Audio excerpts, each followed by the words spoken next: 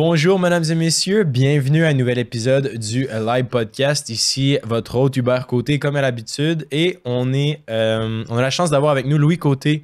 Euh, encore une fois, merci Louis euh, d'avoir accepté l'invitation. Merci beaucoup, Hubert. donc aujourd'hui, on va parler de plusieurs choses, entre autres là, les fonds d'investissement. puis on va parler de, de, retour aussi sur, sur investissement. Donc Louis, je te laisse, je te laisse entamer le sujet. Yes. Fait que si je t'offre 30% de rendement garanti, euh, comment tu réagis, Hubert? Ouais, euh, je pars à la course. C'est, je pense que c'est, très, euh, c'est un très bon réflexe. C'est la, meilleure chose à faire, sauf si ça provient du gouvernement. Parce qu'il y a hmm. quand même certains fonds fiscalisés qui peuvent te permettre d'avoir ce 30%-là garanti sous forme de crédit d'impôt. Je parle ici des fonds des travailleurs qui sont quand même assez connus, donc le fonds FTQ, le fonds d'action. Hmm. Euh, par contre, il y a quand même beaucoup de, de méconceptions, là, puis de, rumeurs, de mythes par rapport à ça. Puis il y en a un autre qui est un peu moins connu, son petit cousin, si je peux dire, c'est le capital régional coopératif des jardins, qui a des caractéristiques euh, quand même différentes. Puis on, pourra démystifier ça ensemble aujourd'hui. Mais grosso modo, là, c'est ça. Moi, j'ai pas euh, jamais cotisé à, ces fonds-là jusqu'à maintenant dans ma vie. j'ai toujours eu l'impression que c'était plus c'est mes parents, mettons, qui, étaient dans le fond FTQ et tout. Euh, comment, ça, comment ça fonctionne? Est-ce que c'est accessible à tous?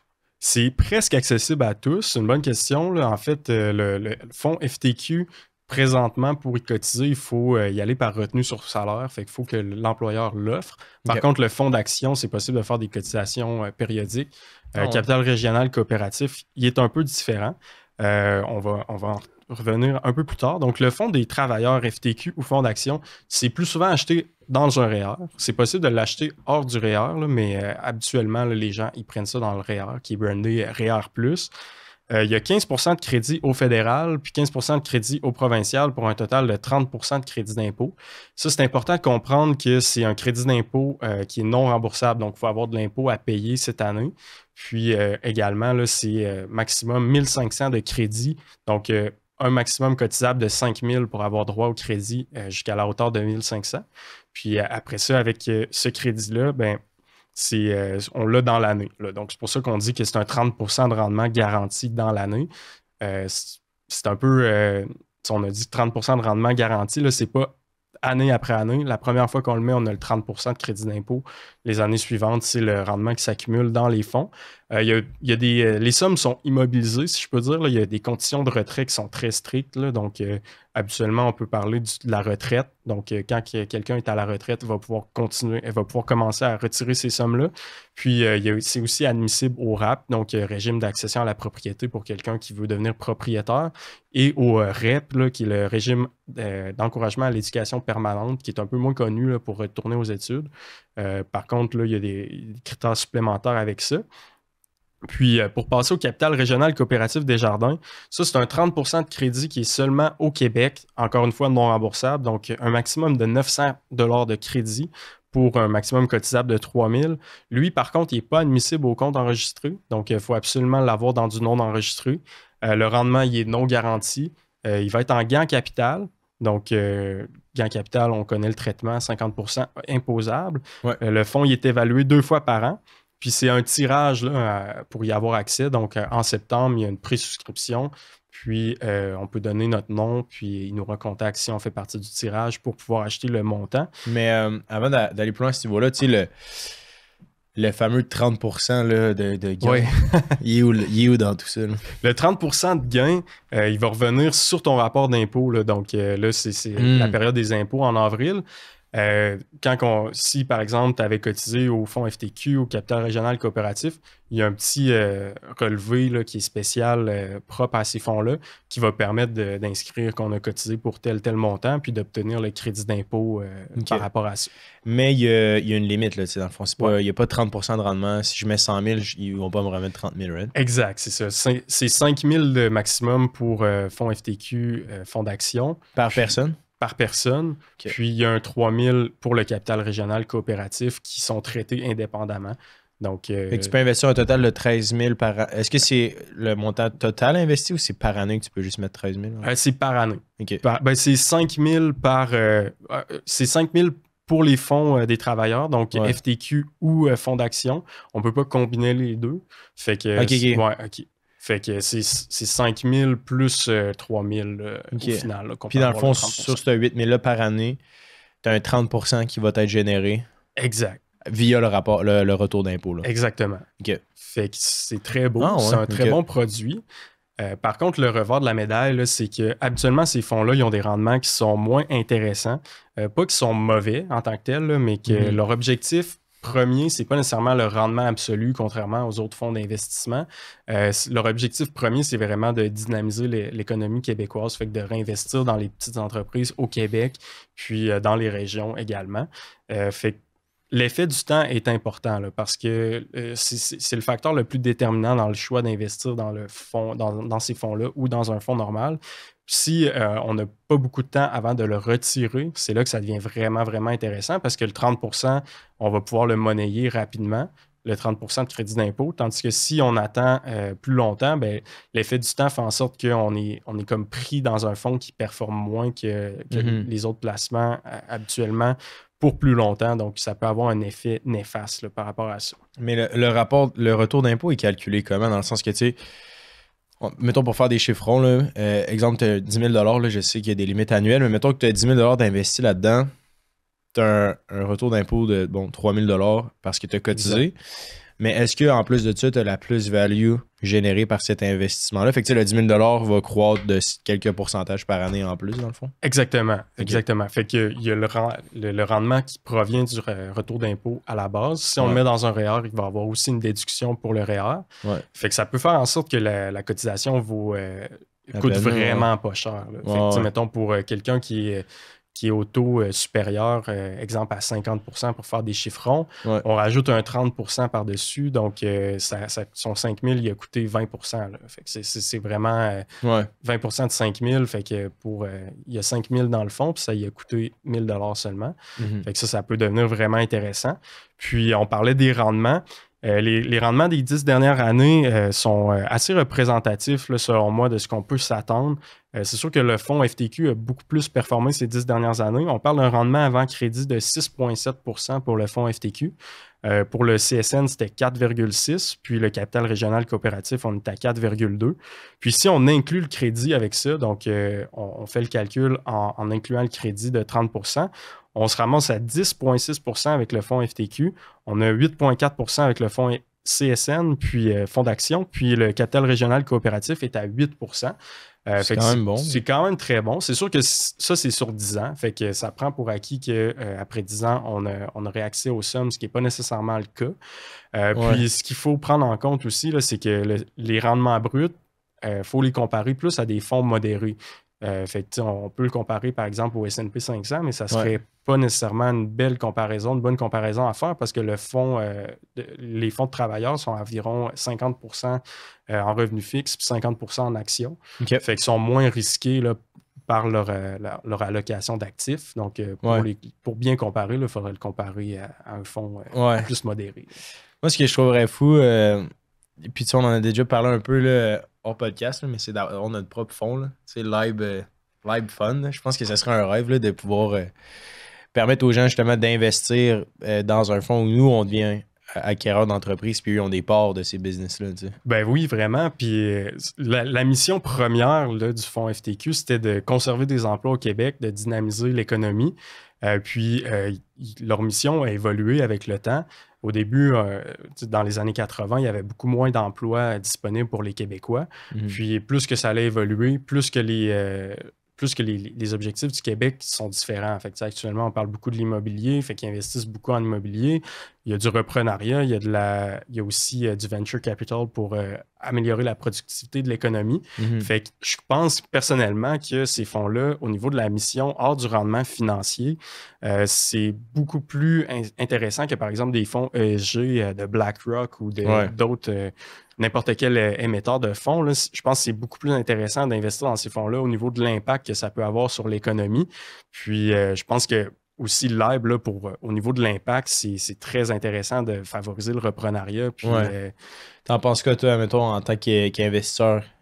Parce que s'il y a des gens qui s'intéressent, écrivez-nous, on, on, on serait curieux de savoir ce que vous en pensez. Mais toi, lui, mettons, d'un point de vue investisseur, ce serait quoi les plus et les moins d'investir dans un fonds euh, où ce que nous, on achète des PME, des entreprises, puis tu deviens, dans le fond, propriétaire de, de ces business-là à travers ton capital qui est injecté. Ce serait quoi tes, tes questionnements, tes réticences par rapport à ça? Très bonne question. Ben, premièrement, je, dirais que l'avantage premier, c'est de, participer à un transfert de richesse, participer à une croissance. Euh, euh, on sait qu'au Canada aussi, au Québec, il y a beaucoup d'immigration actuellement, fait qu'il y, y, a quand même un vent dans les voiles pour les entreprises québécoises.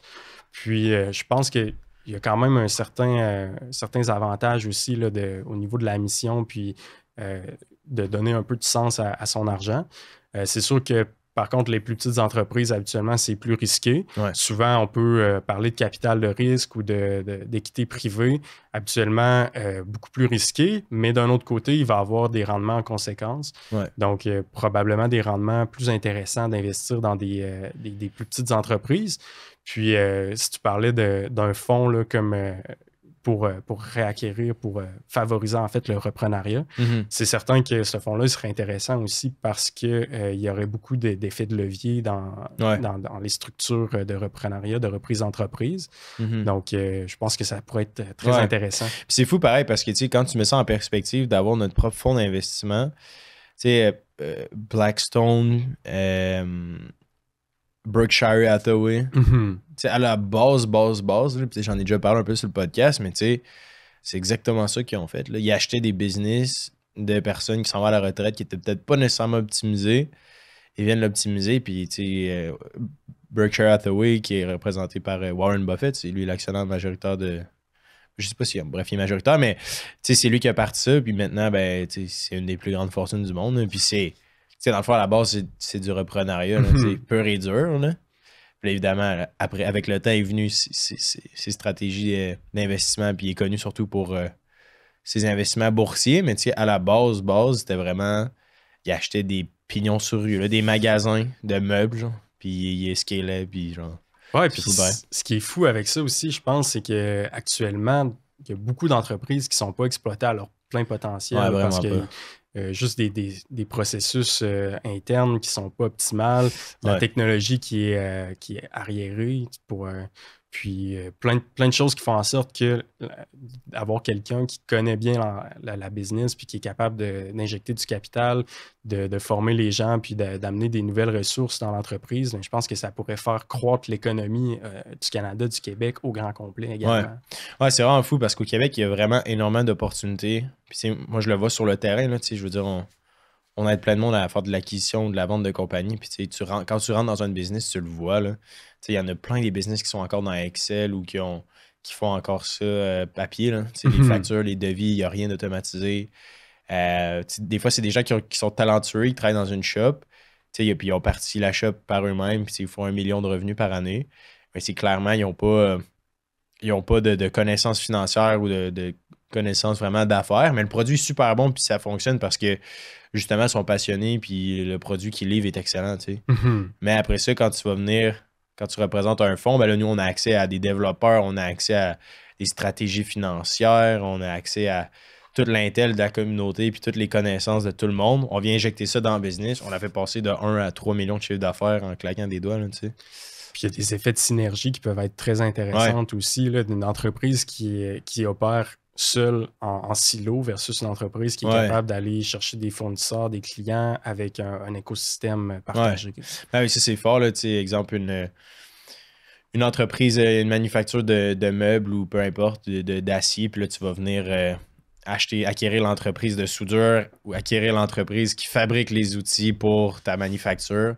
Puis là, tu fais de l'intégration verticale, puis tu réussis à minimiser tes coûts puis à augmenter tes marges aussi. exact, exact, exact. Puis pour revenir au, fond des travailleurs, la mission première des, des fonds des travailleurs, c'est ça, ni plus ni moins. Fait pour les, personnes qui nous écoutent, je pense que c'est la meilleure façon de rapidement investir dans les entreprises au Québec, puis des, petites entreprises. Puis, vous pouvez aller le voir aussi là, sur euh, le site, je pense qu'il est bien fait pour ça. Il démontre euh, selon chaque région dans quelle entreprise le fonds investit. Puis c'est sûr que c'est des noms que vous allez connaître, puis des, noms qui ont pignon sur rue. Mm En plus d'investir dans ces entreprises-là, ben, ça permet de toucher un retour d'impôt quand même de 30% supplémentaire dans la première année. Puis euh, j'en ai parlé rapidement plus tôt, là, puis Puis pour l'achat d'une résidence, c'est vraiment très intéressant parce que le, fait de pouvoir rapper, de pouvoir sortir ces sommes-là en peu de temps, ça permet de monnayer ce crédit d'impôt-là de 30% rapidement, puis pouvoir euh, injecter beaucoup plus de capital sur sa résidence hmm. qu'on veut acheter. Donc ça, je pense que c'est une stratégie qui est très intéressante.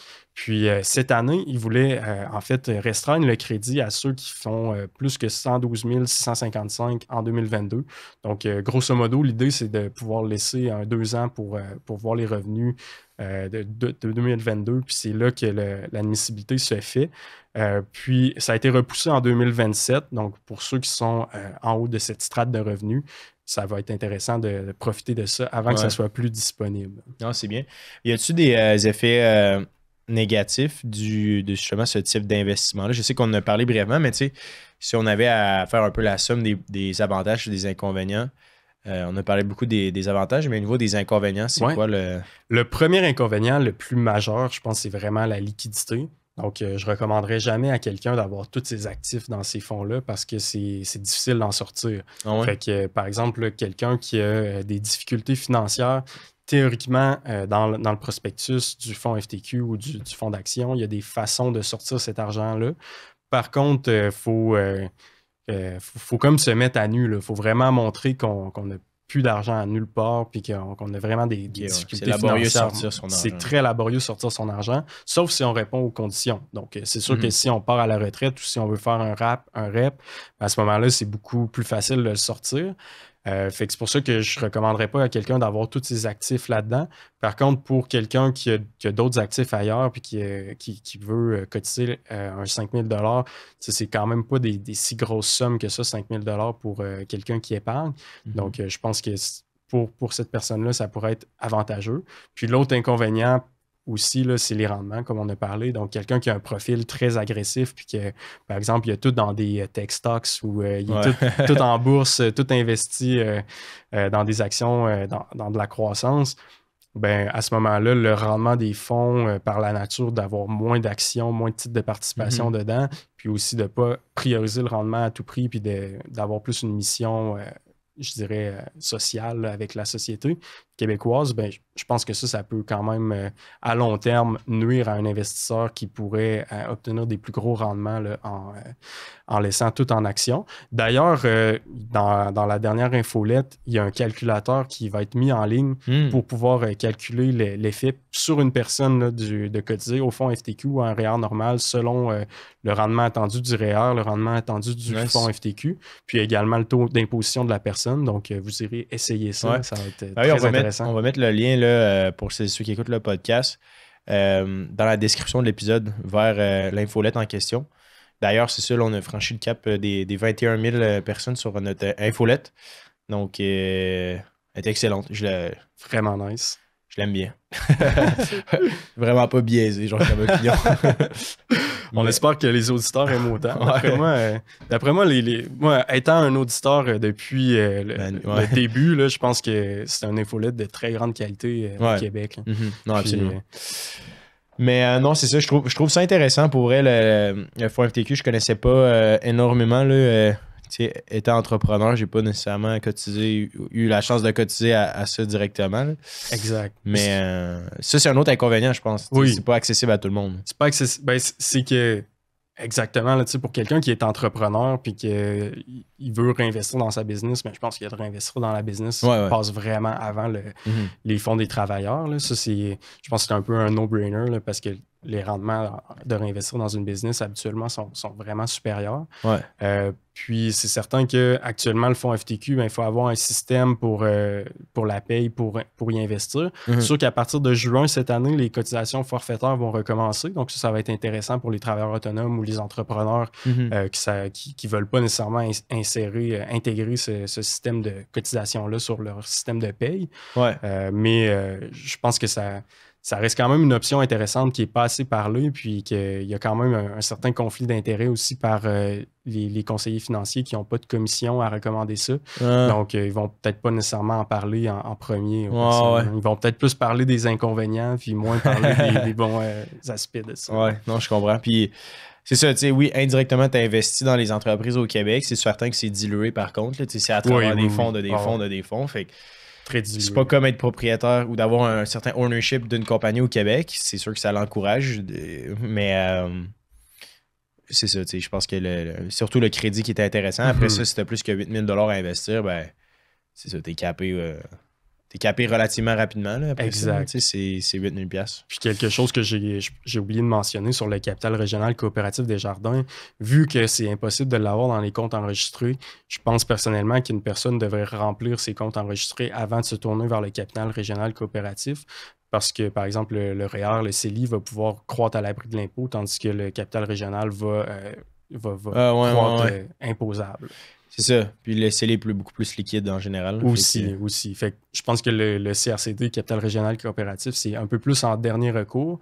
Par Ouais. contre, le FTQ, euh, Fonds d'action, pour, euh, pour quelqu'un euh, qui, qui veut, par exemple, acheter une maison ou, ou bénéficier du crédit, Là, je ça pense peut que être intéressant. c'est ouais. intéressant plus rapidement que Ouais. le CRCD. Non, c'est euh, c'est intéressant d'avoir parlé de, de ces fonds-là. Puis, tu sais, l'autre truc, puis ma vision un peu de, de live, puis, tu sais, de pouvoir rendre ça accessible aussi. Puis, je veux dire, sans rentrer dans les détails de, de structure, euh, tu sais, on en a parlé euh, on a, ensemble, toi et moi, là. mais euh, juste la philosophie de, qui permet à tout le monde de devenir Mhm, propriétaire d'entreprise, mais pas comme à travers un fonds d'un fonds d'un fonds. là, tu sais, Mhm. de vraiment, tu sais, c'est nous, c'est notre équipe qui, qui, qui, qui sont les repreneurs. Les gens font des investissements passifs, un retour sur investissement passif, mais ils possèdent la brique, ils possèdent du tangible tu sais, à travers le fonds. Je trouverais ça fou quand même. Je trouverais ça euh, intéressant, puis quand même euh, novateur là, tu sais, d'une startup de pouvoir euh, faire ça. Je trouverais ça quand même intéressant. Tu sais, C'est souvent des grosses institutions, des gros fonds Mhm. qui investissent quand même dans des. euh, ben oui, dans des entreprises au Québec, mais tu sais, c'est quand même des entreprises de taille aussi, quand même, là, qui, dans lesquelles ils investissent. Nous, ça serait vraiment plus pour des plus petites entreprises. Évidemment, ce serait un investissement qui est risqué. Encore là, on n'est pas. On n'est pas vraiment dû à la phase de commercialisation de la chose, mais je sais pas, la philosophie de comme démocratiser l'investissement dans la reprise d'entreprise au Québec, euh, je sais pas. J'aime- bien l'idée, là. J'aime aussi beaucoup l'idée, puis je serais vraiment curieux aussi d'avoir euh, des, des avis des auditeurs si, par exemple, pour eux, c'est important d'investir dans quelque chose qu'ils connaissent, quelque chose qui est proche d'eux, puis quelque chose qui, a des, Ouais. qui va avoir un impact significatif sur euh, leur... Je pense que c'est surtout la profitabilité. Là. Ouais. Genre, à, à the end of the day, je pense qu'on a toutes des valeurs. Clairement. C'est pour moi, le développement durable, ça me tient à cœur. L'économie au Québec aussi. Mais tu sais, si tu si offres du 3% de rendement, ton front va être à zéro. C'est pas compliqué. J'ai l'impression. En tout cas, c'est mon Ah ouais. opinion. Je serais curieux de vous entendre dans les commentaires sur YouTube ou, ou de nous écrire directement sur la page. Mais pour vous, est-ce que c'est un impact euh, important, de, de vraiment savoir où est-ce que votre argent va, puis Mhm. que ça bénéficie, euh, ça a un impact socio-économique positif? Est-ce que pour vous, c'est une plus-value? Euh, si oui, ben faites-nous le savoir parce que comme ça, on pourra mettre encore plus d'énergie puis de ressources sur peut-être la réalisation de, de ce fonds-là, essentiellement. Puis, euh, J'imagine que l'impact aussi se fait beaucoup plus ressentir si on est dans le quotidien de l'entreprise que si on investit dans un fonds ouais, qui est relativement obscur puis qu'on voit pas nécessairement l'impact. Tandis que si, euh, par exemple, vous, vous, euh, vous prenez- vous reprenez une entreprise puis vous la rendez beaucoup plus durable, beaucoup plus. euh, ouais, on, euh, crée de la job, là, de l'emploi. on crée de l'emploi, on fait que c- Mm. je pense que cet impact-là se fait beaucoup plus ressentir que, que d'investir au travers d'un fonds. Ouais, ça serait surtout plus un, une obligation ou euh, quelque chose qui. Il faudrait qu'il y ait un potentiel de rendement intéressant. Mhm, Je pense que c'est ça qu'il faut garder, euh, garder d'avant. Mais euh, non, merci. Merci beaucoup, Louis, pour euh, les recherches sur le fonds euh, FTQ. Je trouve ça intéressant. Ben, et les autres fonds. Y avait-tu euh, d'autres éléments où ça faisait pas mal le tour? Non, ça fait quand même pas mal le tour. Pour savoir comment cotiser, je pense que le, le plus intéressant, ça serait de se rendre sur les sites directement Ouais. des, du, du FTQ, Fonds d'action ou le Capital Régional Coopératif des Jardins. Puis, euh, puis sinon, ben, c'est sûr que le rendement euh, est le plus important. Donc, euh, je vous invite à aller euh, faire le calculateur de rendement pour voir si c'est un produit qui vous conviendrait. Génial. Merci, euh, merci beaucoup, Louis. Merci tout le monde à la maison qui euh, nous écoute. Et sur ce, on se dit à la semaine prochaine.